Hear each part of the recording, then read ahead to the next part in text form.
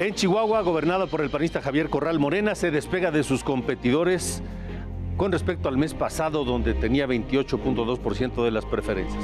En el primer escenario, Morena con el PT se llevaría 35.3% de los votos, seguido por el PAN con 21.922 y una alianza PRI-PRD 15%, Movimiento Ciudadano 5.8%. En el segundo escenario, la alianza opositora PRI-PAN-PRD pues no le alcanza con su 30%, casi 31% de intención de voto, porque Morena y, PT tendrían 40.3% de la votación, mientras que Movimiento Ciudadano solo llegaría a 8.3%.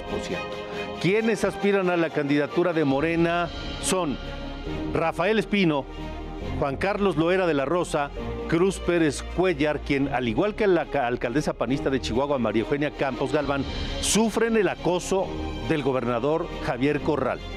Además, Campos Galván reveló que Morena la buscó y les dijo que no.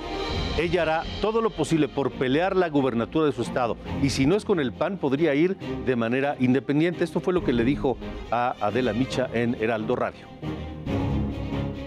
Yo agradezco mucho la invitación de Morena, pero lo que voy a hacer con Morena es, eh, yo quiero, no, no es, no es mi pretensión irme para allá, Adela, pero sí generar una buena relación y ir construyendo, porque vamos a tomar protesta el primero, en el mes de septiembre del año que entra, y necesitamos una buena relación con el equipo. Pero si no eres candidata por el PAN